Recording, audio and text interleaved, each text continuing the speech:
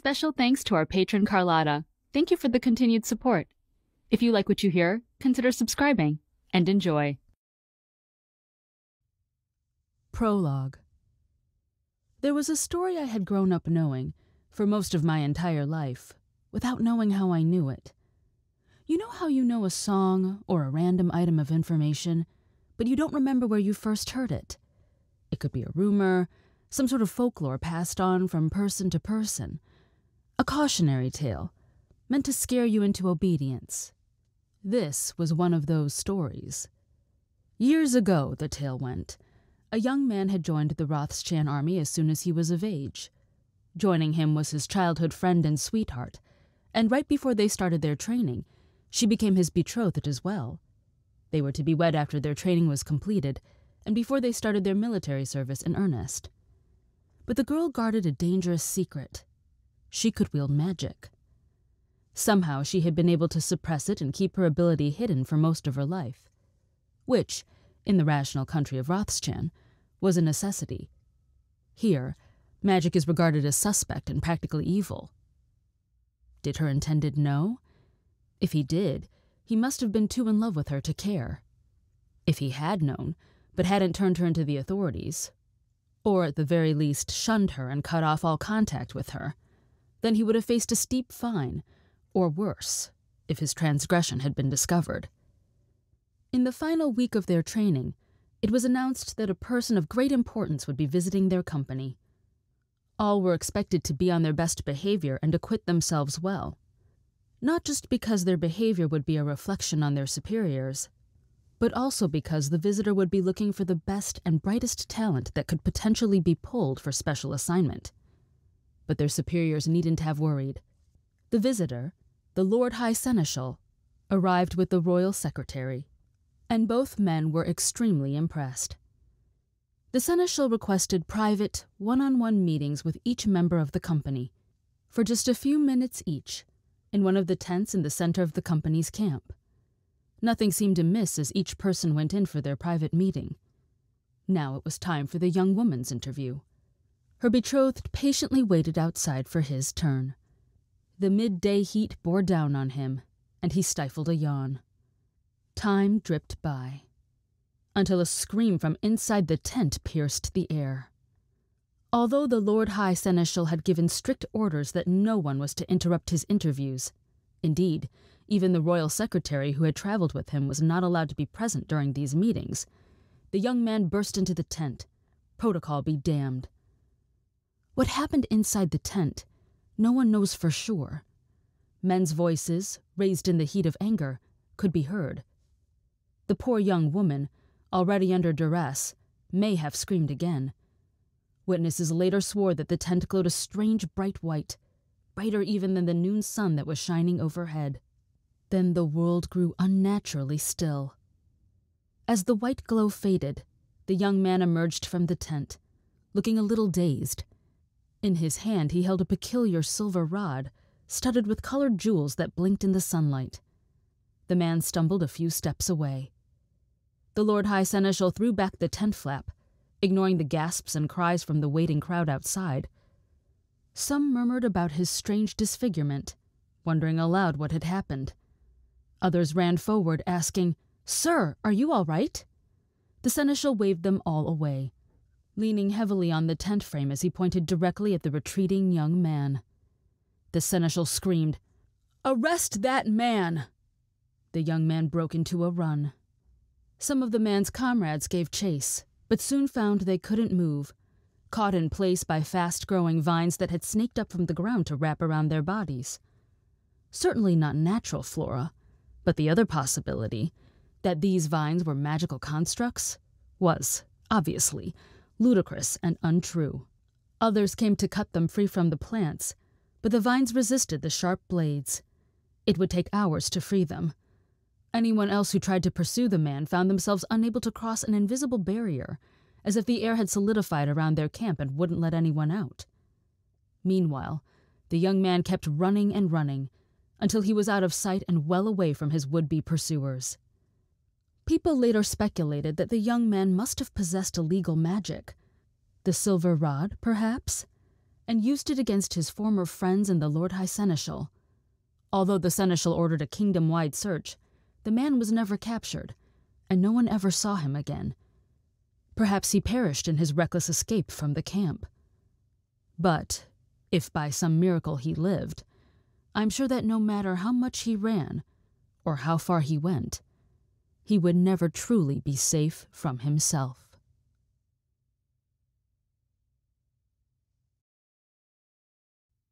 Chapter 1 Adalynn. Adalynn! My father's voice broke through my musings. Huh? Is everything all right, Adalynn? Father asked me. He followed my gaze to where I had been staring. You looked like you were far away. Or is the peeling wallpaper really that interesting? Oh! I flushed, laughing weakly. the wallpaper's fine, Father although I think that shade of green went out of style when I was five years old. Well, maybe that can be the first thing we spruce up around here, Father laughed. it can be your birthday present. To us. Now I laughed in earnest. I'll be happy to fix up this house with my earnings. But I don't think the first thing I'd pick will be the wallpaper. We all laughed, mother, father, and I. There were so many things wrong with our house, it would be hard to pick which one to fix first. The leaking roof? The warped wooden floorboards? Not to mention the threadbare, faded furniture that graced each room. But even though our little house was old and falling apart, it was ours. It was where I grew up, just my parents and me, in our home in a village on the outskirts of the kingdom of Rothschan. A cozy little home for a cozy little family. Father beamed at me as Mother placed a small, homemade raisin spice cake in front of me. The two of them spoke in unison. Happy birthday, Adalynn. Thank you. It looks delicious, I said. Father passed me a knife. The handle was a little wobbly, but it was our sharpest blade. I took it from him and began cutting little slices for each of us, passing them around the table. Even though it was my birthday celebration, it was just the three of us, as it usually was. Growing up as an only child, I was very close to my parents and didn't mind our small, family only gatherings for special occasions. This was an important birthday, though. I turned 21 today, which meant that I was now eligible to enlist in the Rothschan military for my mandatory three year term, after which I would have the option to either continue serving the kingdom or could leave the military and pursue a different vocation. I'm sorry it's not fancier. Mother fretted at me as I accepted the slice of cake. Nonsense, I said. It's perfect. While I'd miss my parents, there were certain things about living at home that I wouldn't miss. Like my mother's constant need for reassurance. She often expressed sadness that we couldn't afford more than the most basic of necessities. It didn't matter to me that our neighbors and my schoolmates were better off than my family was but for some reason, it mattered a lot to my parents, my mother especially.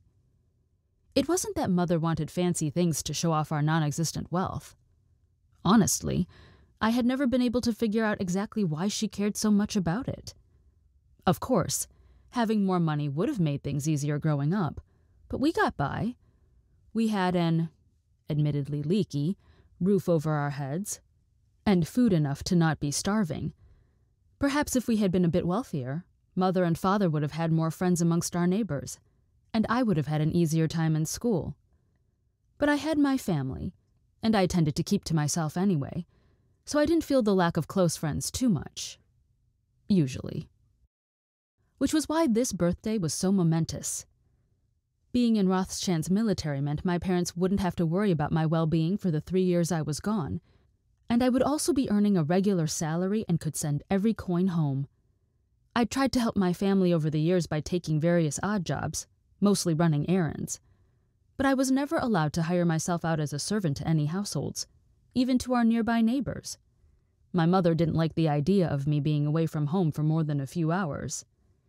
The idea of working as a live in servant to another household, even if it was with the wealthiest and most secure residents in all of Rothschan, upset Mother so greatly that, after seeing her reaction to the first time I suggested it, made me reluctant to ever bring it up again. So, even though I loved my parents dearly, I was also secretly excited at the prospect of going. Not necessarily because I thought I'd make a good soldier, although the idea of attaining knighthood someday was a bit appealing. But mandatory was mandatory, after all, and mother and father would have to let me go. And after my three years were done, who knew what could happen? I'd most likely stay in the military, as I didn't have many prospects here in Rothschan that I could come back to. Being poor wouldn't have necessarily deterred potential suitors. But when I had started growing old enough to notice such things, I realized that many of our neighbors were polite, but distant. Coupled with my parents' fierce protectiveness of me and their reluctance to talk about our lives before I was three, the age that I could recall my earliest memories, and I often felt like I was carrying the weight of their unspoken worry. But, if I was lucky and smart and saved enough money, perhaps I could leave the army after the three years and go see the rest of the gifted lands. I'd have the skills to hire myself out as a guard, or maybe even a mercenary. Although I didn't think I could ever have the mindset of a mercenary. Still, there would be more possibilities and opportunities after my service was done than I had now. As if he read my mind, Father asked, Will you be enrolling tomorrow? I nodded, even as I caught the slight frown on Mother's face. She pushed back a tendril of gray and brown hair behind her ear, a sure sign that she was upset. Mother always grew fidgety when she was uncomfortable. It was her tendency, whenever anyone talked about the Rothschan military, for her to grow quiet. And now that I was at the age of enrollment, she hated hearing me talk about it. I didn't understand why. She knew it was inevitable. I figured it was just because she was afraid of losing her only child. But she needn't worry. The kingdom of Rothschan hadn't been involved in anything that could even be remotely considered a skirmish in years. Our kingdom's reputation was too fearsome. No one would dare go against us. I was confident I would be just fine. As was my father, who smiled at me. The crinkles around his eyes, a testament to his years of hard work filled with equal parts worry and laughter, deepened. We'll miss you. But it can't be helped. And it can only mean better times for all of us. He looked at my mother, who was still and silent. Gently, he said, Let's all go together. To keep today's celebration going, it will be a defining moment for our whole family. Mother met his gaze and I was surprised to see tears glistening in her eyes. Before I could say anything, Father gave me a warning glance. Don't acknowledge it. In an effort to lighten the mood, Father asked, What were you thinking about earlier, Adalynn? Oh, it was nothing, really. Just. Do you remember that story that was going around a few years back? about how some crazed person attacked a seneschal at one of the training camps with forbidden magic and then escaped? The story just came to mind, and I wondered whatever happened to the seneschal? And did they ever find his attacker? Both mother and father froze at my words. It was like a veil had dropped over their faces, shuttering them completely from any emotion. What made you think of that? Father's voice was flat and harsh. Surprised at my father's tone, I stammered, I. I don't know. Probably because I'll be enrolling tomorrow, and then that made me think of that story. It just got me curious, is all. I'm sure it's nothing more than rumor. Meddy Champlin was the one who told me.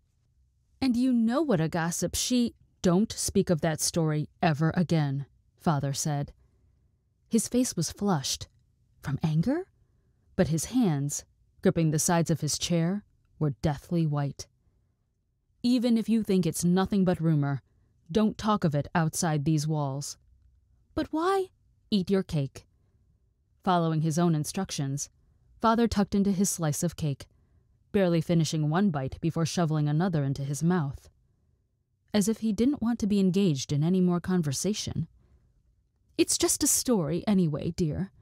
Pay it no mind. Mother picked up her fork and began eating as well, but slowly, lost in her thoughts. Even her chewing seemed subdued. Unsure of how to respond, or even if I should respond, I picked up my own fork and took a bite of my birthday cake. The sweetness of the raisins and brown sugar burst over my tongue. Finishing my bite, I smiled at my mother. Honors to the cook. It's delicious. Perfect, as always, mother. Her answering smile was tinged with sadness. Thank you. After that uncomfortable moment, the rest of my birthday celebration passed pleasantly and without any other incidents. As if by unspoken agreement, my father and I avoided talking about my upcoming military enrollment and instead just conversed about everyday, innocuous topics. Mother relaxed as the night wore on, but I could sense that undercurrent of unhappiness behind all her words and actions. When we had our fill of cake and conversation, I stood up, intending to grab all the dishes from the table and start cleaning up. Mother gently took my dish from my hand. It's your birthday. You shouldn't have to do any cleaning, she said. She paused, putting her hand on my cheek as she regarded me. You have a big day tomorrow. She shooed me away. I laughed and gave her a big hug, then turned to hug my father. All right, then.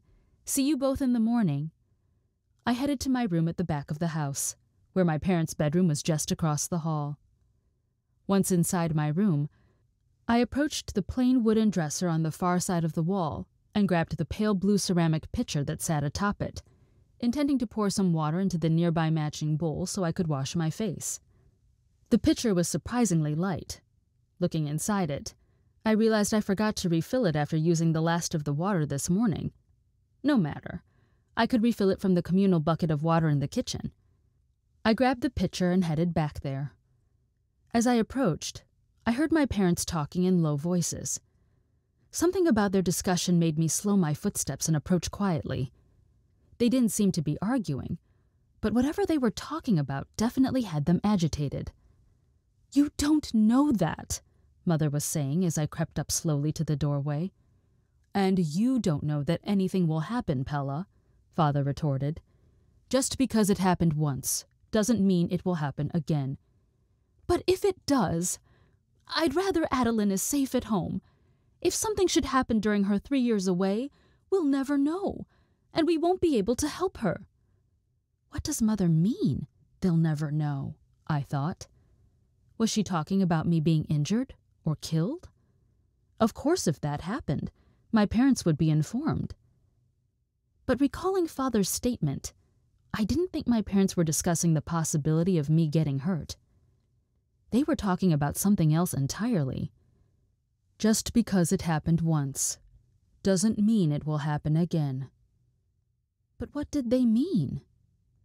I was so busy mulling over this, I nearly missed the next part of their conversation. She's made it to her 21st birthday, and so far nothing untoward has occurred. She should be in the clear now, Father said. But look at what happened to Layden, Mother said. Do we really want to risk? There was a rustling sound, as if someone had moved quickly. From somewhere closer, Father said urgently, Do not say his name. It's been long enough. Surely you never know who might be listening. Don't tempt fate. Best to leave the past where it belongs. A choked sob escaped from my mother's lips. The rustling sounded again. I surmised my father was holding my mother. I could hear my mother sniffling quietly, but she quickly got her crying under control. You're right, she said. I'm fretting over nothing. Everything will be fine tomorrow, and beyond that. That's the way to think about it, my father said encouragingly. There was more rustling of fabric, followed by footsteps and the clinking of dishes as my parents walked around the kitchen, tidying it. Under the cover of all their noise, I crept back to my room, where I placed the still empty ceramic pitcher back on top of the dresser. I quietly closed the door behind me and leaned against it, thinking furiously. What was it that my parents were so worried about occurring? And who was Layden? Thanks for listening. This has been the prologue and first chapter of Heir of Magic and Mischance, now available on Audible, Barnes & Noble, Amazon, or wherever you like to buy books, ebooks, and audiobooks. If you like what you heard, Consider picking up a copy anywhere you buy books and leaving a review. Reviews go a long way in helping indie authors. Thank you so much.